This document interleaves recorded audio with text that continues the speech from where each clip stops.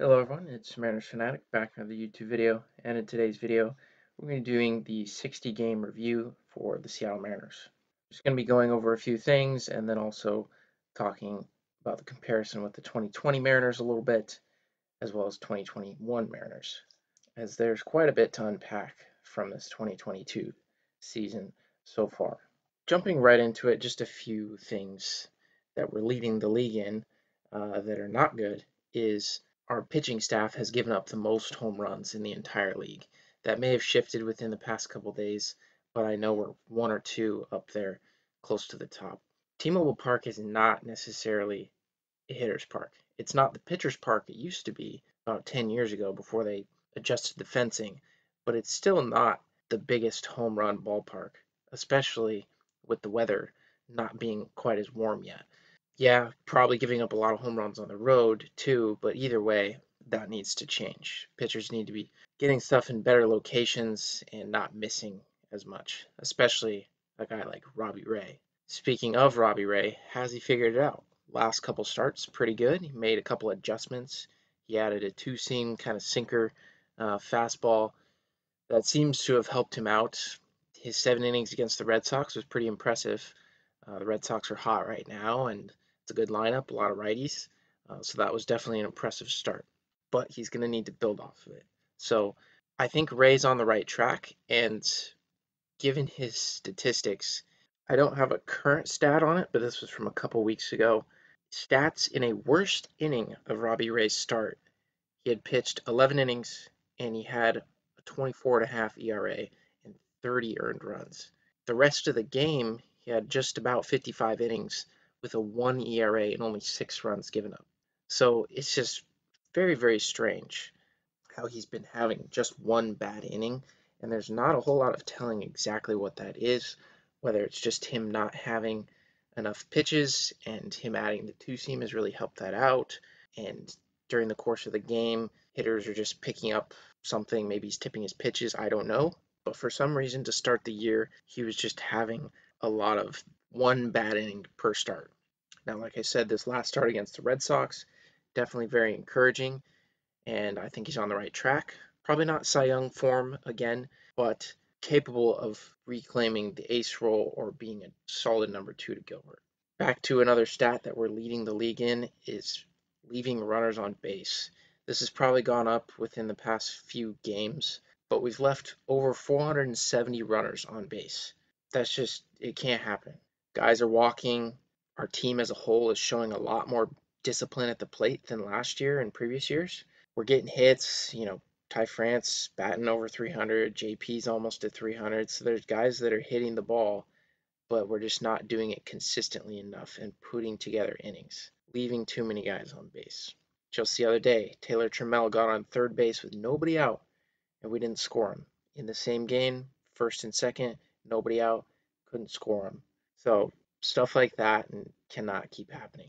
Another interesting stat I found on Fangraphs is right now our base running rating is at negative five and a half. I'm not huge into the advanced metrics of base running, but when you see a glaring stat like that, it's clear that we're doing something wrong on the base paths. This was a few weeks ago, but Winker trying to stretch a double into a triple with nobody out to lead off the game. I think that was against the Mets. There's no reason for you to take third to start off the game. It's like an unwritten rule. You don't get thrown out at third base with nobody out. You're already putting yourself in scoring position by getting to second base. There's no reason to go to third. So there's probably other instances like that that I can't quite think of right now. But seeing that base running metric on Fangraphs, it kind of makes sense to some of the things we've been seeing. And we really need to clean up the base running taking the extra base when it's necessary and knowing when to shut it down. Too many guys are getting thrown out on the base paths this year. Next up, Kyle Lewis getting hit in the head, concussion. It's not good. I was at that game. I didn't think it was that bad at first. I thought he was going to be fine, and then it just wasn't. And now he's out again. And that's somebody we need in the lineup. Is Lewis's future in Seattle going to come to a close at some point? Probably not. He'll probably stick with the team. And I really hope for his success but are we going to see that long term? So that's an interesting one because we really need Lewis healthy in the lineup. Same thing with Mitch Haniger. He's expected back about the first week of July, That's another guy we need back in this lineup hitting the baseball. Some of the lineups we've been putting out there the last few weeks have been brutal. Another issue we've been having is serious regression in the bullpen. Paul Sewald does not have his strikeout stuff like he did last year. He's still good, but he's not as elite as he was. Sergio Romo needs to be gone. Get him out of here. I love his personality, but he's just not it. Needs to get out of here. Steckenrider and Misiewicz both regressed as I predicted. Never been fans of them. Luckily, they're not in the bullpen anymore, but either way, that's been a problem. Jerry did nothing for the bullpen in the offseason, and that was my biggest gripe and why I gave us an A minus or a B plus for the offseason. He did nothing for the pen except for get Sergio Romo, and Romo's been our worst addition of the whole team. So that's a very frustrating point for me personally, um, and that's definitely been a weakness because the rotation over the last few weeks has steadied itself and been really solid. So right now, the pitching staff's issues lie with the bullpen. Guys like Penn Murfee are stepping up, but he's still young and he's had some moments where he's struggled. Castillo has bounced back, which is great to see. I like Castillo. Swanson still performing well is good to see. And overall, I think the bullpen can get back to form. I'd really like to see Giles back and healthy. Munoz, when he's on, is electric, but when he's not, he gets hit hard. There's some things in the bullpen to still get figured out, but I think that's something that can self correct itself, and we can also make some moves uh, with trades potentially, depending on where we're at when the trade deadline comes up. So, I should have mentioned this at the start of the video, but through 60 games, we are 27 and 33. The last four games, we are 1 and 3, and we're now 28 and 36. The start of this previous 30 game set was rough. We dropped to eight games under 500 Things were not looking good. And then we won four series in a row. Well, after these last two series, we are back to eight games under 500.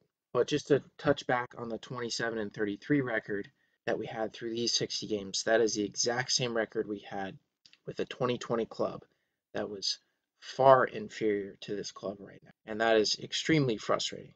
You look at all the offensive stats, and right now our team is top 10, top 15 in the league across the board. Maybe not necessarily in each category we're a top team, but as a whole, the team's offense is in a good spot. But like I said, we're leaving too many runners on base. Pitching is in the bottom half of the league. It's coming up. Uh, we were pretty close to the very bottom. It's starting to rise a little bit. But now recently, the pitching's been doing better than the hitting.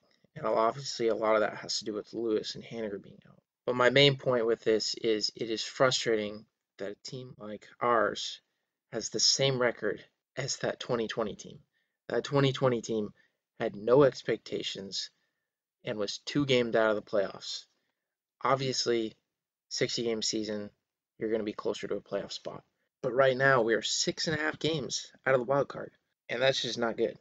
Obviously, these 2021 numbers are going to be for the full season and not just so far. So there's a lot of time for that to change.